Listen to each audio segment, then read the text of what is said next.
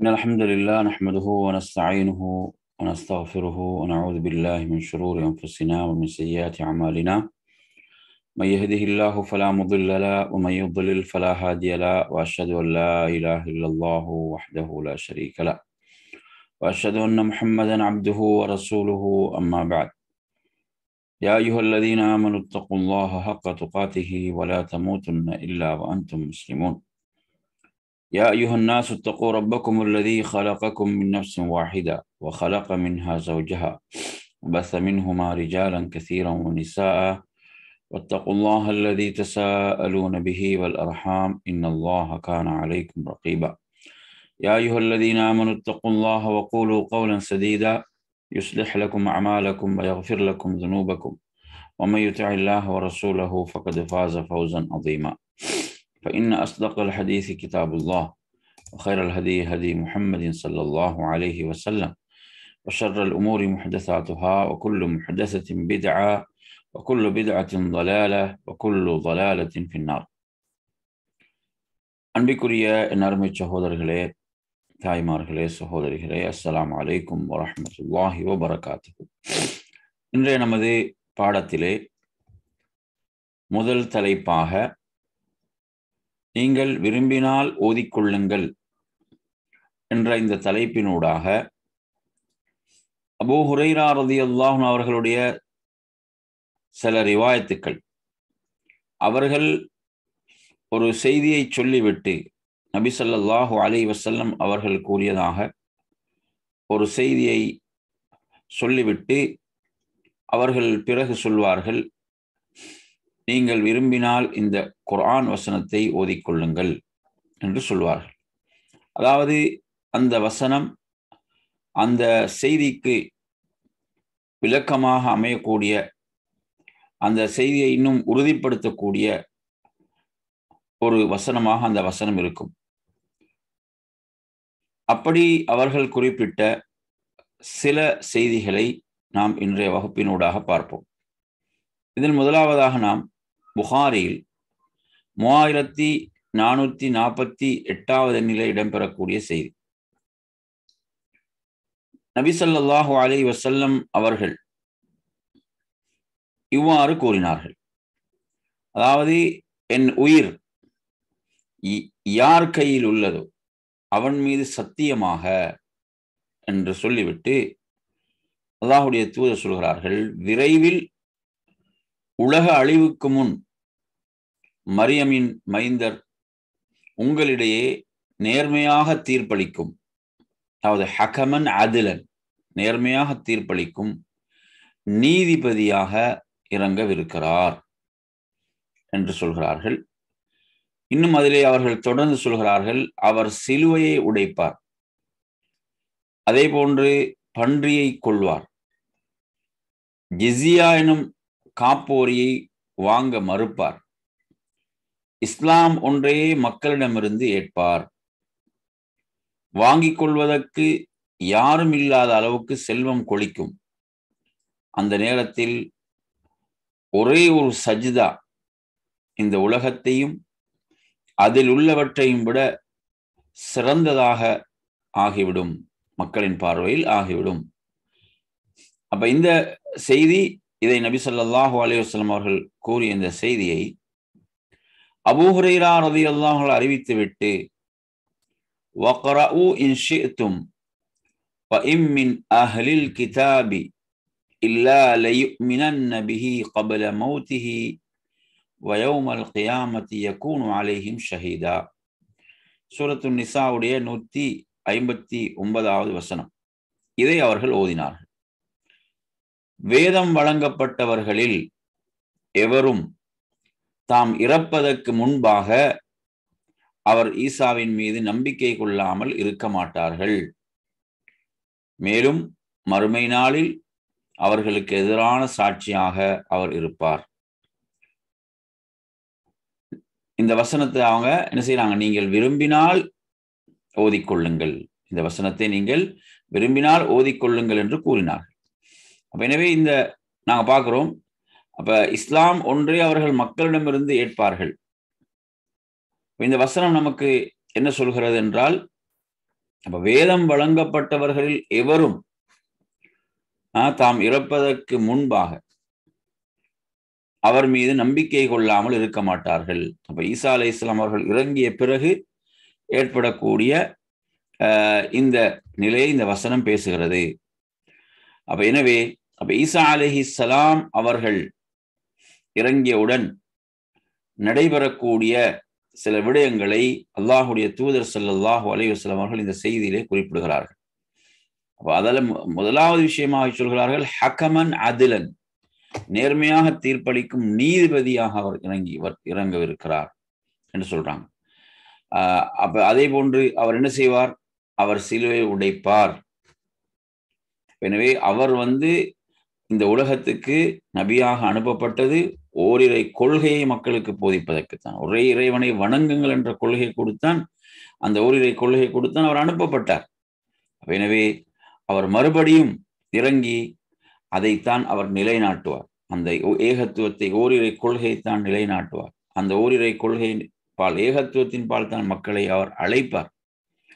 அப்ப எனவே இன்று யாருடைய பேரில் அந்த சிலுவை என்ன செய்யப்பட்டிருக்கிறதோ உருவாக்கப்பட்டிருக்கிறதோ அவரே வந்து என்ன செய்வார்? சிலுவை உடைப்பார்.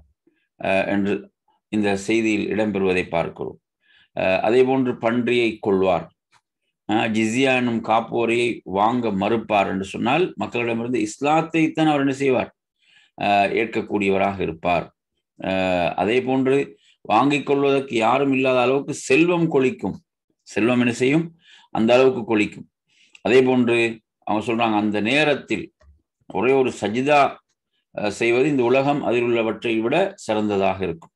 எனவே நாம் பொதுவாக பார்க்கிறோம் அதாவது ஃபித்னாக்கள் குழப்பங்கள் நிறைந்த காலத்தில் இபாதத் என்பது அல்லாவிடத்தில் மிக சிறப்புக்குரியதாக விருப்பத்துக்குரியதாக இருக்கிறது என்று அல்லாஹுடைய தூதர் குறிப்பிட்ட செய்திகள். அதாவது ஃபித்னாக்கள் குழப்பங்கள் நிறைந்த காலத்தில் ஒரு ஒரு இபாதத்தில் வணக்க வழிபாடுகளில் ஈடுபடுவது என்பால் ஹிஜ்ரத் செய்வது வருவதற்கு ஒப்பானது என்றும் அல்லாஹுடைய தூதர் குறிப்பிடக்கூடிய செய்தியை நாம் முஸ்லீம்லே பார்க்கிறோம்.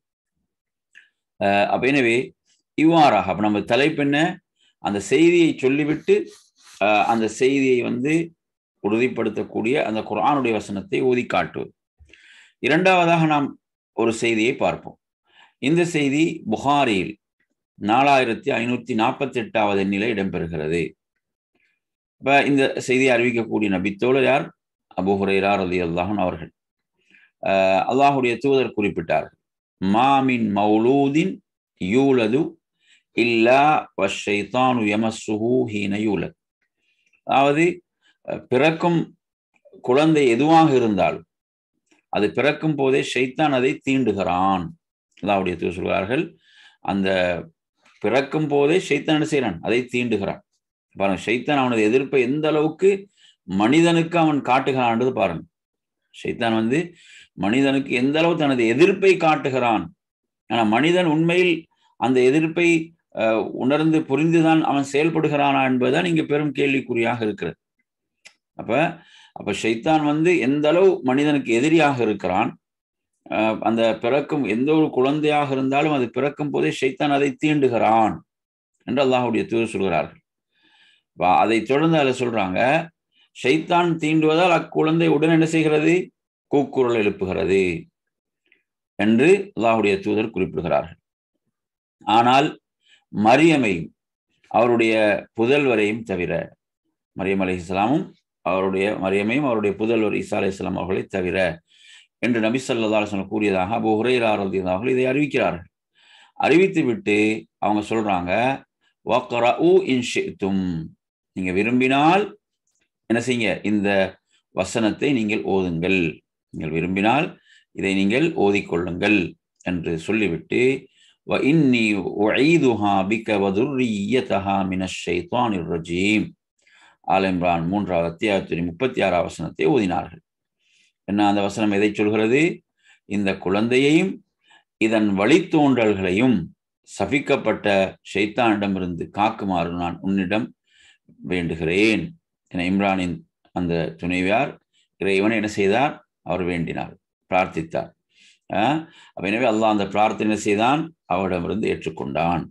பாருங்க சுபஹான் அல்லாஹ் அந்த தாய் உடைய அந்த துவா பிரார்த்தனை அந்த பிரார்த்தனைக்கு இருக்கக்கூடிய அந்த சிறப்பையும் வலிமையும் நாம் இதில் பார்க்கிறோம் சுபஹானல்லா இந்த பிரார்த்தனையின் ஊடாக என்ன செய்யப்பட்டது? அவர்களுடைய அந்த மகள் மரியம் அலிஹலாம் அதே போன்று அவர்களுடைய பிள்ளை ஈசா அலி இஸ்லாம் அவர்கள் இதிலிருந்து பாதுகாக்கப்பட்டார்கள் வெண்மை எனவே இதில் ஒரு ஒரு முக்கியமான ஒரு சிறந்த முன்மாதிரி இருக்கிறது. அதாவது ஒரு குழந்தையை சுமந்திருக்கக்கூடிய கற்பிலே குழந்தையை சுமக்கூடிய ஒவ்வொரு தாயும் இதை ஒரு முன்மாதிரியாக ஏற்று செயல்பட வேண்டும்.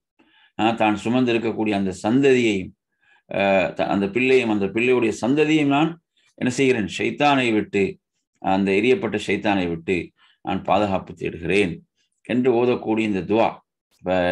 எனவே இந்த துவாவுடைய பாக்கியம் அந்த தாயுடைய துவாவின் பாக்கியத்தின் மூலம் அவர்களை தவிர மற்ற எந்த ஒரு குழந்தையாக இருந்தாலும் அது பிறக்கும் போது ஷைத்தான் அதை என்ன செய்கிறான்? தீண்டுகிறான் என்று வருகிறது. அப்போ எனவே இந்த செய்தியை சொல்லிவிட்டு இந்த குரானுடைய வசனத்தை என்ன செய்தார்கள்? அவர்கள் ஓதி காட்டினார்கள். எனவே அப்போ இந்த துஆவுடைய அந்த பாக்கியத்தின் மூலம் இந்த துவாவுடைய பாக்கியத்தின் மூலம்தான் அவர்களுக்கு அது கிடைத்தது. அப்போ துவா பிரார்த்தனை என்பது எவ்வளவு முக்கியமான ஒரு மோமினுடைய ஒரு ஆயுதமாக இருந்து கொண்டிருக்கிறது என்பதை நாம் விளங்க கடமைப்பட்டிருக்கிறோம். எனவே சுபஹானல்லா ஒரு சிசுவிலே ஒரு குழந்தையை சுமக்கக்கூடிய ஒரு தாய் இந்த முன்மாதிரியை என்ன செய்ய வேண்டும்? ஒரு சிறந்த முன்மாதிரியாக கொண்டு செயல்பட வேண்டும் என்பதை நாம் எதிர்பார்க்கிறோம். ஒரு தாய் கேட்கக்கூடிய துவாவுக்கு இருக்கக்கூடிய அந்த முக்கியத்துவம் சிறப்பு. அதே போன்று துவாவுக்கு இருக்கக்கூடிய அந்த சிறப்பையும் நாம் இதன் மூலமாக என்ன செய்கிறோம்? ஒரு மோமினுடைய வாழ்வில் துவா என்பது எவ்வளவு முக்கியமானது என்பதையும் நாம் இதிலிருந்து நாம் என்ன செய்கிறோம்? நாம் விளங்கிக் கொள்கிறோம். அடுத்ததாக நாம் வருவோம். இதில் மூன்றாவது செய்தியாக நாம் பார்க்க போகின்ற செய்தி. இந்த செய்தி புகாரியில் நாலாயிரத்தி எழுநூத்தி பதினேழாவது செய்தியாக இடம்பெறுகிறது. அபு ஹுரைரா ரதி அல்லாஹ் அறிவிக்கக்கூடிய செய்தி. அதாவது நபி சல்லாஹூ அலி வசல்லம் அவர்கள் கூறினார்கள் ஒருவர் தனியாக தொழுவதை விட கூட்டாக தொழுவது இருபத்தைந்து மடங்கு அதிக சிறப்புடையதாகும். ஹம்சும் இஷ்ரூன தரஜா என்று அல்லாஹுடைய தூதர் குறிப்பிட்டார். சில ரிவாயத்துக்களில் இருபத்தி ஏழு மடங்குன்னு வருகிறது. அப்ப அந்த அந்த அளவு சிறப்பும் இருக்கிறது. அந்த தொழ அவர் தொழக்கூடிய இடம் அவருடைய உள்ளட்சம் அவைகளை கவனித்து கூடுதலான நன்மையும் அதில் இருக்கிறது.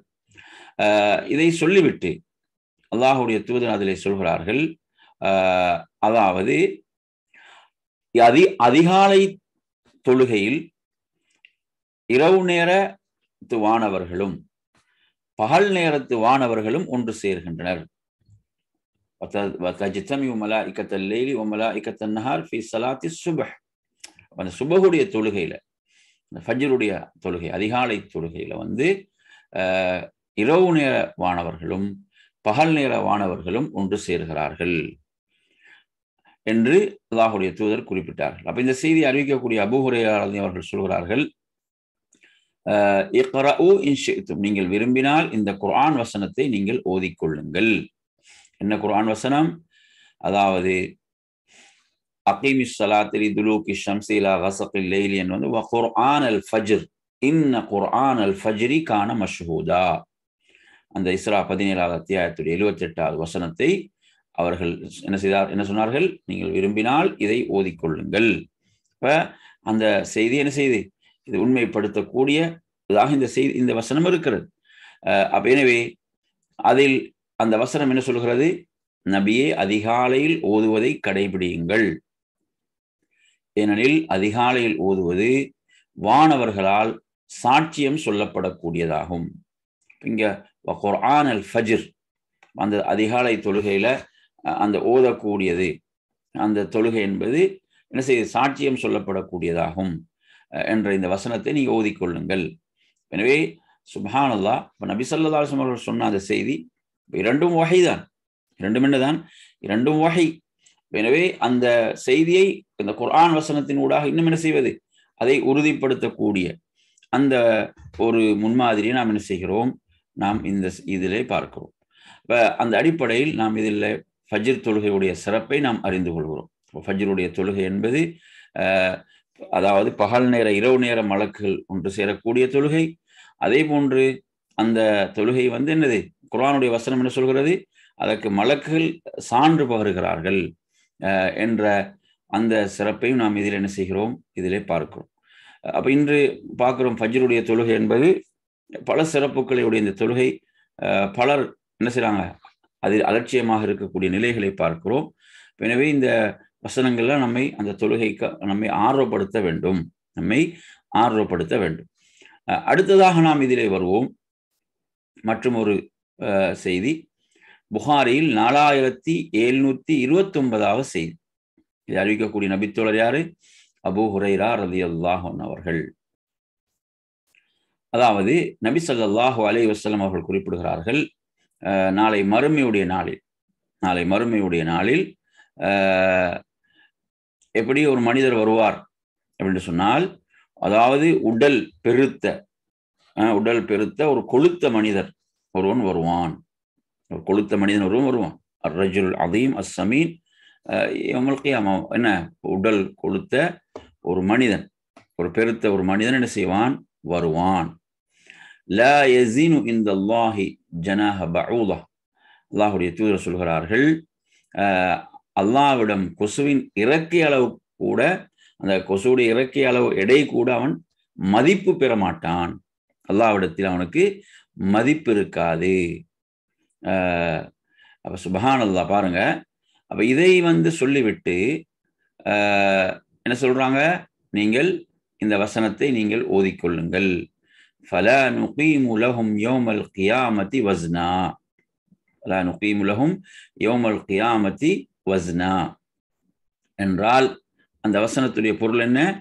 அதாவது மறுமை நாளில் அவர்களுக்கு எத்தகைய மதிப்பையும் அளிக்க மாட்டோம் என்ற வசனத்தை ஓதிக்கொள்ளுங்கள்.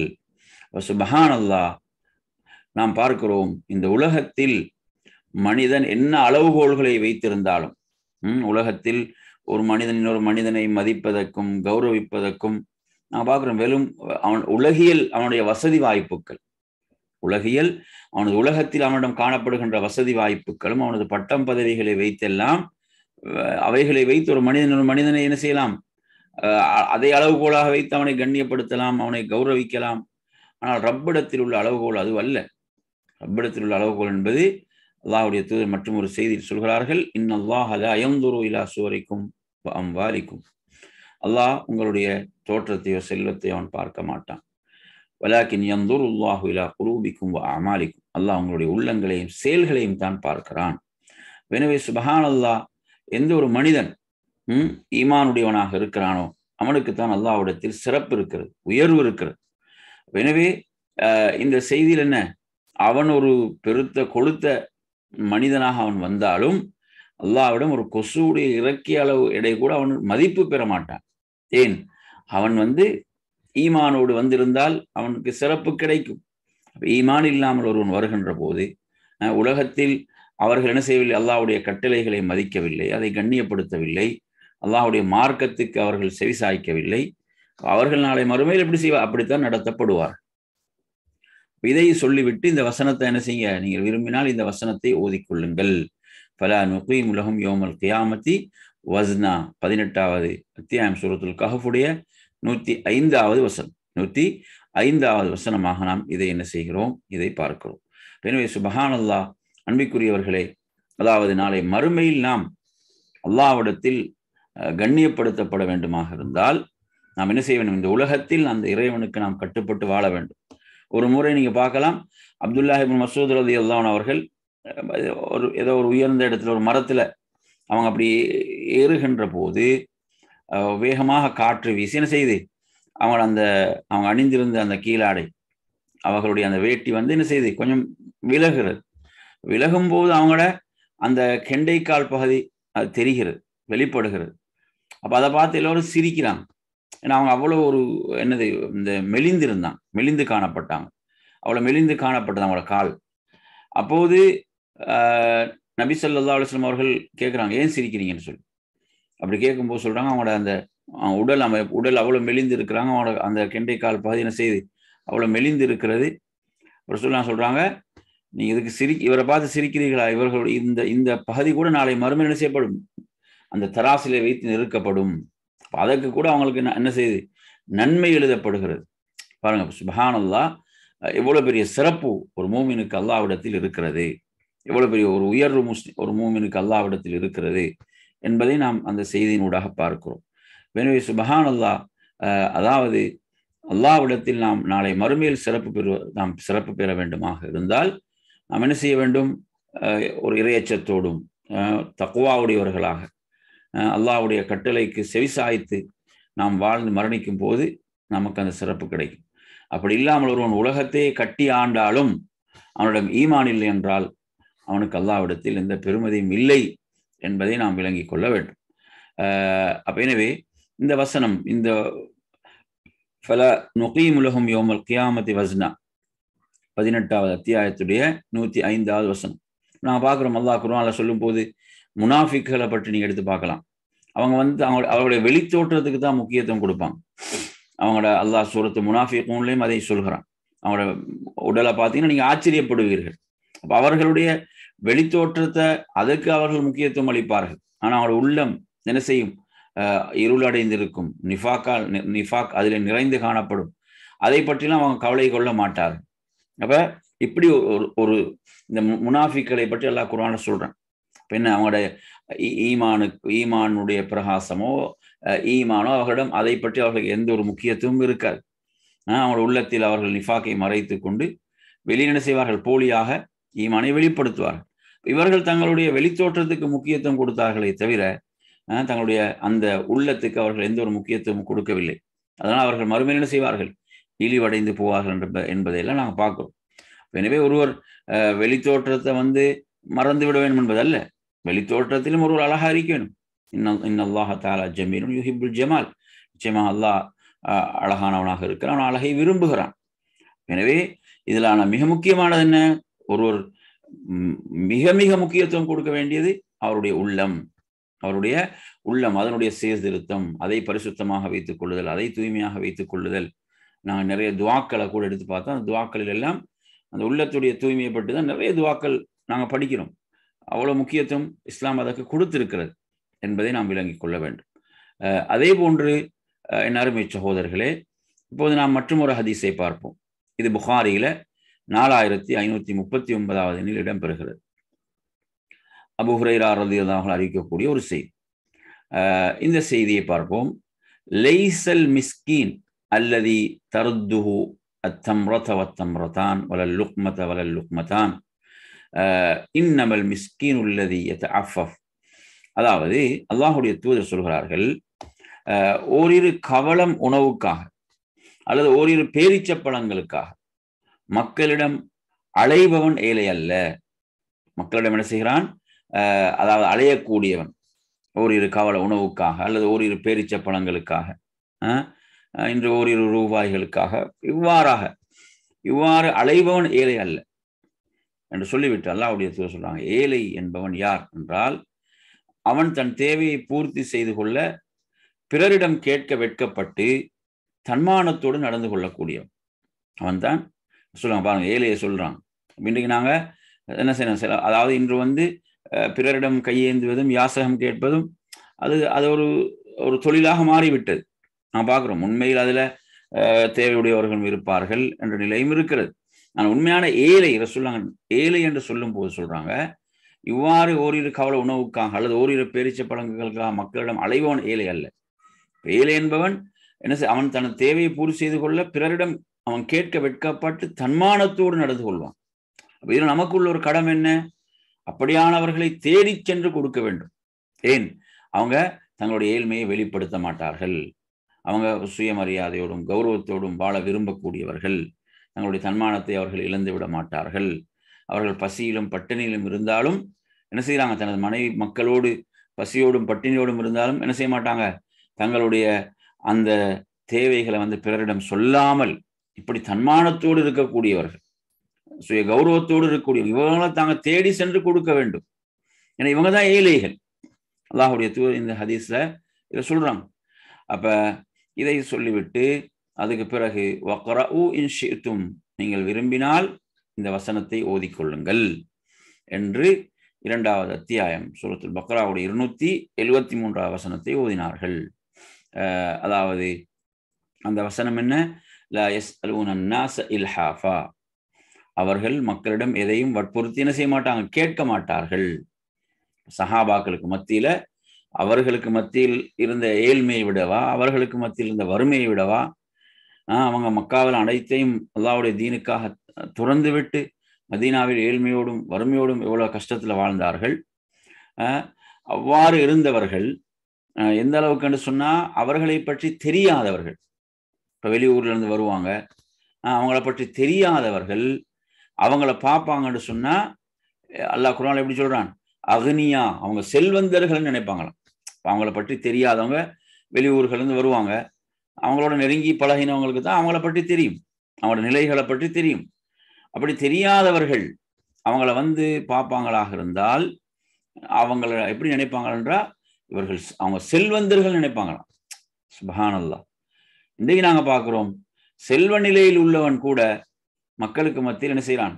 அவன் தனது ஏழ் ஏழ்மை வறுமையை சொல்லக்கூடிய நிலையை தான் பார்க்குறோம். ஏன்?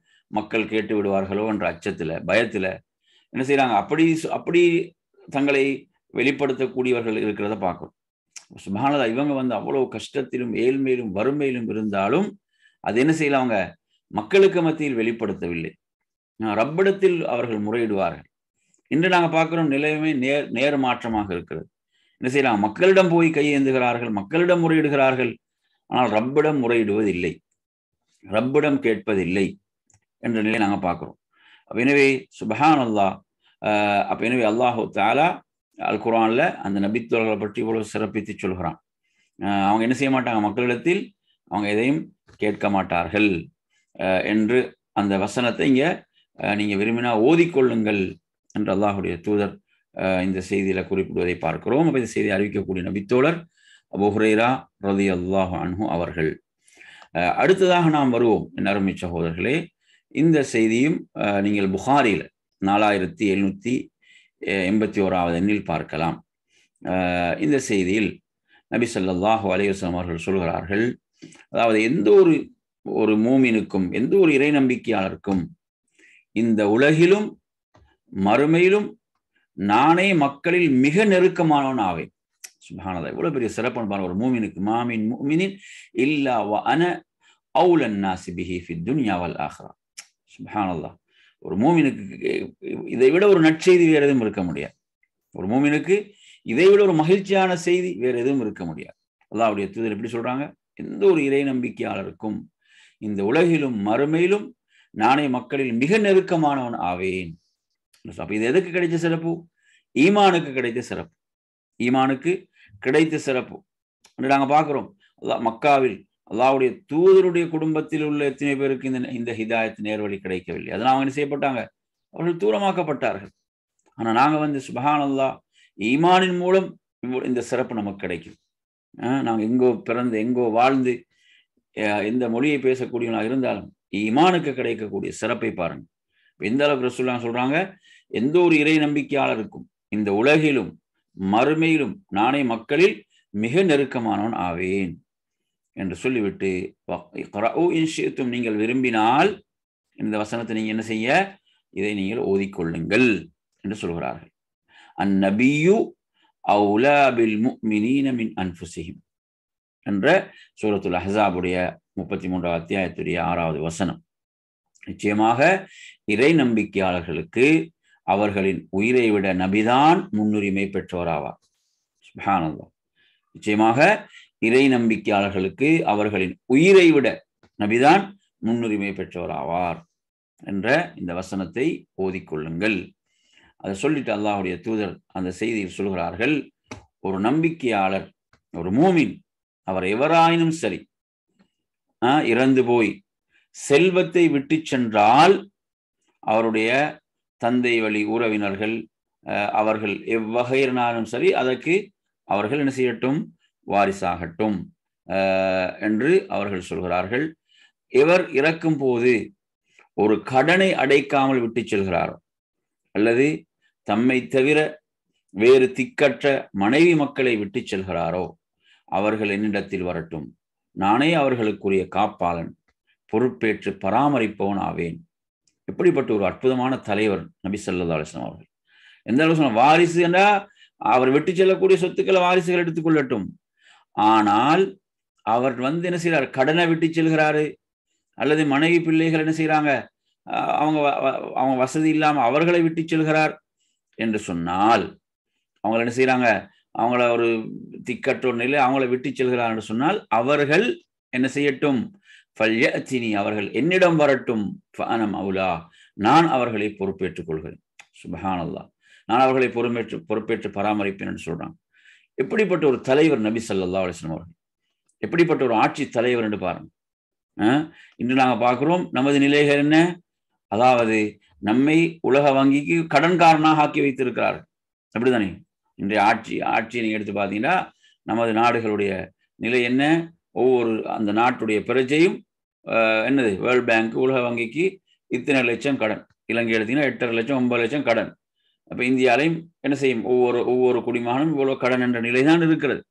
ஆனால் இங்கு நபிசல்லா அலிசம் என்ன செய்கிறாங்க அதாவது இன்று நாங்கள் பார்க்குறோம் மக்கள்கிட்ட இருந்து எப்படியெல்லாம் எடுக்க முடியுமோ வரிகளை விதித்து அதற்கு அதற்கு தான் திட்டம் தீட்டுகிறார்கள். ரசூலா சொல்றாங்க அவர் விட்டு செல்லக்கூடியது அவரது வாரிசுகளுக்கு. ஆனால் அவர் வந்து கடனை விட்டு செல்றாரு. அல்லது அவரது மனைவி மக்களை வந்து அவர்களுக்கு வசதி வாய்ப்பில்லாத நிலை என்றால் அவர்கள் என்னிடம் வரட்டும். என்று நபி சல்லா அலுவலம் குறிப்பிட்டார்கள் என்றால் இவ்வளோ ஒரு அற்புதமான ஒரு தலைவர் நபி சல்லாஹ் அலிஸ்லம் அவர்கள் என்பதை நாம் பார்க்கிறோம். அப்போ எனவே இதில் இந்த இதை சொல்லிட்டு சொல்லாங்கன்னு சொல்றாங்க? அவங்க ஓதிய எந்த வசனத்தை விரும்பினால் இந்த வசனத்தை ஓதிக்கொள்ளுங்கள் நபி அவுலா பில் மினீன மின் அன்புசீம் என்ற வசனத்தை ஓதினார்கள் என்பதை பார்க்கிறோம்.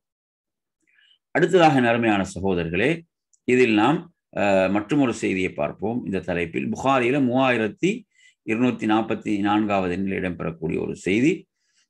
அபு ஹுரேரா ரந்தியதாக அறிவிக்கிறார்கள். அல்லாவுடைய தூதர் சல்லா அலிஸ்லம் கூறினார்கள் அல்லாஹ் கூறுவதா பால் அல்லாஹ் அல்லாஹ் கூறுவதா அஜத்துலி இபாதிய சாலிஹீன் மாலா ஐநூன் ரஅத் வலா ஊதுனும் சமிஅத் வலா ஹத்தர் அலா கல்பி பஷர். எந்த கண்ணும் பார்த்திறார் எந்த கண்ணும் கேட்டிரார் எந்த கண்ணும் பார்த்திராத எந்த காதும் கேட்டிரார் எந்த மனிதரின் உள்ளத்திலும் கற்பனையிலும் உதித்திராத இன்பங்களை என் நல்லடியார்களுக்காக நான் சொர்க்கத்தில் தயார்படுத்தி வைத்துள்ளேன். அதத்துலி இபாதிய சாலிஹின். இது எங்கள்கிட்ட இருக்க வேண்டிய தகுதி என்ன? அதாவது சாலிஹான் எனது நல்லடியார்களுக்கு அப்படிதானே? சாலிஹான் எனது அடியார்களுக்கு அப்போ நாங்கள் இந்த தகுதிக்குள்ளவர்களாக இருக்க வேண்டும். சாலிகான ஒரு அடியாராக நாம் வாழ்ந்து மரணிக்க வேண்டும். அதுக்கு நாங்கள் அல்லாவிடத்தில் நாங்கள் பிரார்த்திக்க வேண்டும். நாங்கள் அல்லாவிடத்தில் அதுக்கு நாங்கள் என்ன செய்யணும்? நாம் பிரார்த்திக்க வேண்டும். அப்போ நல்லடியார்களுக்காக எப்படி தயார்படுத்தி எல்லாம் தயார்படுத்தி வைத்திருக்கிறான்? எந்த கண்ணும் பார்த்திராது எந்த காதும் கேட்டிராத இந்த மனிதனுடைய உள்ளத்திலும் கற்பனையும் உதித்திராத இன்பங்களை நான் என் நல்லடியார்களுக்கு நான் சொர்க்கத்தில் தயார்படுத்தி வைத்துள்ளேன் என்று அல்லாஹ் கூறுகிறான். அவ்வாறு உண்மையில சுபஹான் அல்லாஹ் நானும் நீங்களும் அல்லாஹுடைய அடியார்கள் என்ற தகுதியோடு தான் இருக்கிறோமா? அந்த தகுதிக்குரியவர்களாகத்தான் வாழ்ந்து கொண்டிருக்கிறோமா என்பது முக்கியமான கேள்வி. நாம் நம்மிடம் கேட்டுக்கொள்ள வேண்டிய கேள்வி அல்லாஹ் வந்து சாலிகான அடியார்களுக்காக அதை தயார்படுத்தி வைத்திருக்கிறான் இதை சொல்லிவிட்டு நீங்கள் விரும்பினால் இந்த வசனத்தை ஓதிக்கொள்ளுங்கள் ஃபக்ரா ஓ இன்ஷித்தும் فلا تعلم نفس ما أخفي لهم من قرة أعين جزاء بما كانوا يعملون இந்த வசனம் அதாவது மனிதர்கள் எவரும் தமக்காக மறைத்து வைக்கப்பட்டிருக்கும் அந்த கண்குளிர்ச்சி தரும் சொர்க்கத்து இன்பங்களை அறிய மாட்டார்கள் அவங்களுக்காக அல்லாஹ் தயார்படுத்தி வைத்திருக்கக்கூடியதை எந்த எந்த ஒரு நப்சும் அறிய மாட்டாது என்று அல்லாஹு தாலா குறிப்பிடுகிறான். இப்போ இந்த வசனத்தை ஓதிக்கொள்ளுங்கள். இது முப்பத்தி ரெண்டாவது அத்தியாயத்துடைய பதினேழாவது வசனமாக இருந்து கொண்டிருக்கிறது. எனவே சுபஹானல்லா அன்பிக்குரியவர்களே நாம் உண்மையில் ஒரு சாலிகான அடியானாக வாழ்ந்து மரணித்தால் எவ்வளவு இன்பங்களை அல்லாஹ் தயார்படுத்தி வைத்திருக்கிறான். நாம் கற்பனை கூட செய்து பார்க்க முடியாத இன்பங்கள் அங்கு இருக்கின்றன. அடுத்ததாக நாம் இதிலே பார்ப்போம். மற்றும் ஒரு செய்தியை பார்ப்போம். அந்த செய்தி இந்த செய்தி புகாரியில நாலாயிரத்தி எட்நூத்தி எண்பத்தி ஓராவது எண்ணிலை இடம்பெறுகிறது. அப்போ ஹுரைரா ரதியதான் அறிவிக்கிறார்கள். அல்லாஹுடைய தூதர் சல்லா அலிஸ்லம் குறிப்பிட்டார்கள் இன்ன ஃபில் ஜன்னதி ஷஜரா யசீரு ராகிபு ஃபி தில்லிஹா மியத ஆம்.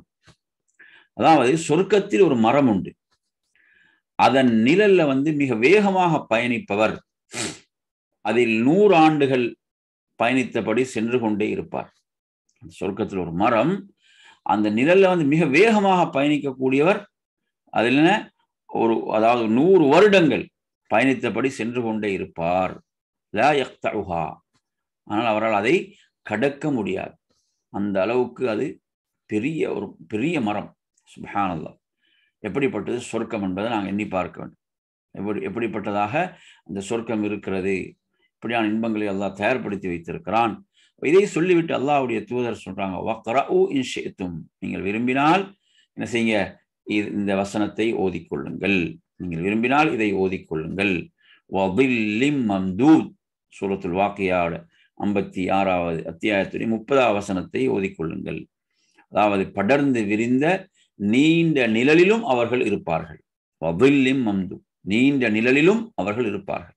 மம்துத் நீண்ட வில் நிழல்.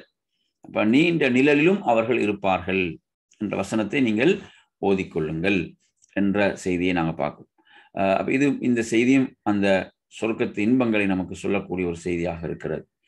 அடுத்ததாக நாம் இதிலே பார்ப்போம். இதுவும் புகாரியில ஏழாயிரத்தி ஐநூத்தி ரெண்டாவது செய்தியாக இடம்பெறுகிறது. புகாரில ஏழாயிரத்தி ஐநூத்தி ரெண்டாவது செய்தியாக இடம்பெறுகிறது. அபு ஹுரேராரனை அறிவிக்கிறார்கள். நபி சல்லாஹூ அலையம் அவர்கள் சொல்கிறார்கள் ஹலக் அல்லாஹுல் ஹல்க். அல்லாஹ் படைப்பினங்களை படைத்து முடித்த போது ஃபலம்மா ஃபரகமின் படைத்து முடித்த போது காமத்தில் ரஹீம். உறவானது எழுந்து உறவு என்ன செய்து? அல்லாஹ் படைத்த அந்த உறவு அதை எழுந்து அந்த இறை அரியானையின் அந்த அரசின் கால்களை பற்றி கொண்டு நிற்கிறது. நின்று என்ன செய்து? அல்லாஹ் என்ன சொன்னால் சற்று பொறு என்றான். உறவுகளை துண்டிப்பதிலிருந்து உன்னிடம் பாதுகாப்பு கோரியே இப்படி நிற்கிறேன் என்றது உறவு. உறவு என்ன சொல்லுது? உறவு சொல்கிறது அதாவது ஹாதா மக்காமுல் ஆஇதி பிக மினல் கத்தியா. எதற்காக அந்த உறவு எழுந்து நிற்கிறதுன்னு பாருங்க. உறவு எழுந்து நிற்கிறது எதற்காக? அதாவது உறவுகளை துண்டிப்பதிலிருந்து உன்னிடம் பாதுகாப்பு கோரியே இப்படி நிற்கிறேன் என்றது உறவு. அந்த நேரத்தில் அல்லாஹ் என்ன சொல்கிறான்? அல்லாஹ் அந்த உறவை பார்த்து சொல்கிறான். உறவே என் உன்னை பேணி நடந்து கொள்வோனுடன் நானும் நல்ல முறையில் நடந்து கொள்வேன். இவ்வளோ முக்கியமான ஒரு செய்தி இந்த ஹதீஸ். இன்றைக்கு நாங்கள் பார்க்குறோம் அற்பமான காரணங்களுக்காக எல்லாம் உறவை துண்டித்துக் கொள்பவர்கள் இந்த ஹதீஸை நன்றாக உள்வாங்க வேண்டும். இந்த செய்தியை நன்றாக உள்வாங்க வேண்டும். எனவே இந்த இந்த செய்தி இந்த செய்தி ஒன்றுக்காகவே நாங்கள் உறவு என்ன செய்யணும்? அவ்வளோ பேண வேண்டிய ஒன்றாக இருக்கிறது. மிகவும் அவர்கள் சில நேரங்களில் மோசமாக நடந்தால் நாம் அதில் மிகவும் பொறுமை காக்க வேண்டியதாக இருக்கிறது. பொறுமை காக்க வேண்டும். உன்னை பேணி நடந்து கொள்வதுடன் நானும் நல்ல முறையில் நடந்து கொள்வேன். உன்னை துண்டித்து விடுவனை நானும் துண்டித்து விடுவேன் என்பது உனக்கு அலா தொடர்ந்து உனக்கு திருப்தி அளிக்கவில்லையா என்று அல்லாஹ் கேட்டான். அதற்கு என்ன சொல் ஆம் திருப்தியை நிறைவா என்றது உறவு. இது உனக்காக நடக்கும் என்றான் அல்லாஹ். இது உனக்காக நடக்கும் என்றான் அல்லாஹ்.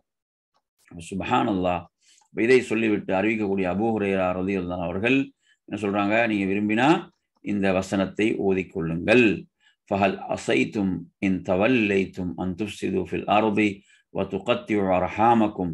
சூரத்து முஹம்மதுடைய இருபத்தி ரெண்டாவது வசனமாக இந்த வசனம் இருக்கிறது. நாற்பத்தி ஏழாவது அத்தியாயத்துடைய இருபத்தி ரெண்டாவது வசனம். அதாவது நய இந்த வசனத்துல எப்படி வருகிறது?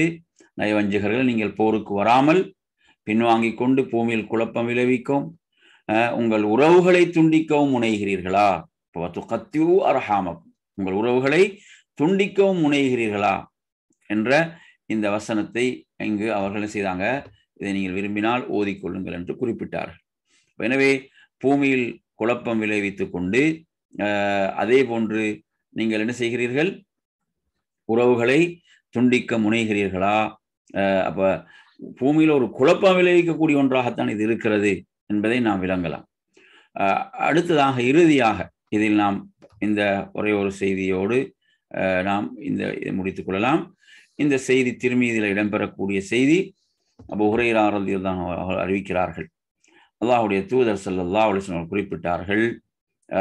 அதாவது சுவர்க்கத்தில் இன்ன மோதிய சவுத்தின் ஃபில் ஜன்னா. இன்ன மோதிய சவுத்தின் ஃபில் ஜென்னா. அதாவது சொர்க்கத்தில் வந்து ஒரு சாட்டையை வைக்கக்கூடிய அளவுக்கு இடம் என்பது ஹைரும் என துன்யா மாஃபியா இந்த உலகம் உலகத்தில் உள்ளவற்றை விட சிறப்புக்குரியது. நீங்கள் விரும்பினால் இந்த வசனத்தை ஓதிக்கொள்ளுங்கள் ஃபமன் ஜுஹுசிய அனின் நாரி உதுஹிலல் ஜன்னா ஃபகது ஃபாஸ். வமல் ஹயாத்து துன்யா இல்லா மத்தாவுல் குரூர். எவர் நரகத்திலிருந்து பாதுகாக்கப்பட்டு சொர்க்கத்தில் நுழைவிக்கப்பட்டாரோ அவர் வெற்றி பெற்று விட்டார். இந்த உலக வாழ்க்கை என்பது ஒரு அற்பமான ஒரு இன்பத்தை தவிர வேறு இல்லை என்ற அந்த வசனத்தை ஓதினார்கள் என்ற செய்தியை பார்க்கிறோம். எனவே நறுமை சகோதரர்களே இவ்வாறாக சில செய்திகள் நாம் தொகுத்தோம். இன்று இந்த வகுப்பில் தொகுத்து உங்களுக்கு நாம் வழங்கினோம். அதாவது நீங்கள் விரும்பினால் இந்த வசனத்தை ஓதிக்கொள்ளுங்கள் என்ற அமைப்பிலே வந்த செய்திகள். எனவே நாம் இத்தோடு இந்த தலைப்பை நாம் என்ன செய்து கொள்வோம்? நாம் நிறைவு செய்து கொள்வோம். இதோடு நிறைவு செய்து கொண்டு அடுத்ததாக நாம் நமது பாடத்தில் துவாவுடைய பகுதிக்கு நாம் வரலாம்.